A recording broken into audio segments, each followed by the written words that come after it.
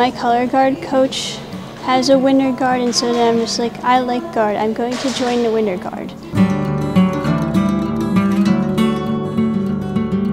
I'm getting to hang out with my friends and like getting to like do spinning.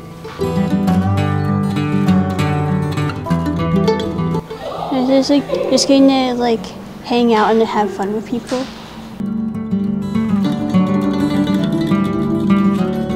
Finding a guard to spin with in college.